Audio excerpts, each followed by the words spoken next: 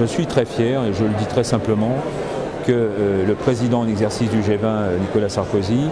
ait fait le choix de porter cette question à la fois du défi alimentaire et plus particulièrement euh, de la volatilité, des marchés financiers, des règles au fond qui devraient régir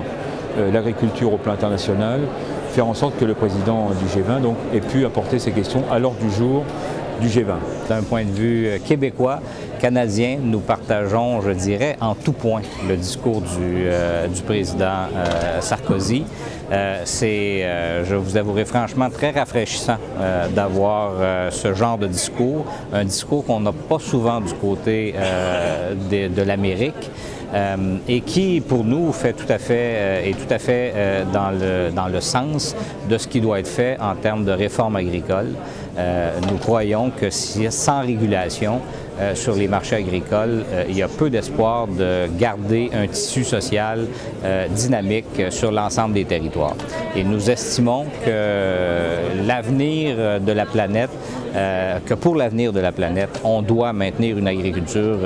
partout, là où c'est possible d'en maintenir sur les territoires du monde. Je pense que le président français a fait un discours d'espère, un très beau discours, il s'agit maintenant d'évaluer ce discours-là en termes d'action sur le terrain des gestes précis, concrets, euh, qui euh, vont dans le sens des intérêts non seulement des producteurs et des productrices agricoles du monde, mais des consommateurs et donc, en d'autres termes, de l'ensemble des citoyens de la planète. Et ce discours nous donne beaucoup de lieux d'espoir sur l'avenir de, de l'agriculteur et nous espérons qu'il y a une solidarité collective qui va permettre à l'agriculture d'avancer et de pouvoir permettre à l'agriculture de nourrir tout le monde entier. Deuxième chose, euh, nous sommes, nous, convaincus que la gouvernance mondiale aujourd'hui nécessite un regard euh, peut-être plus affiné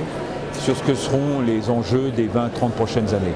On peut les rappeler brièvement, euh, une démographie qui devrait nous porter à 9 milliards d'habitants d'ici 2050, euh, des modes et des consommations alimentaires qui évoluent énormément, notamment dans les pays émergents, et qui sont plus consommateurs. Euh, des terres agricoles qui ne sont pas en extension. On dit même que dans certains pays, le désert a plutôt tendance à, avancer. Euh, des ressources donc en foncier, des ressources sur l'accès à l'eau, l'investissement dans l'agriculture. Bon, tous ces sujets-là aujourd'hui méritent une attention particulière. Nous pensons que notre G120 peut apporter, en tout cas, sinon des réponses, mais un certain nombre d'éclairages sur toutes ces questions et faire en sorte que pour les ministres qui vont se réunir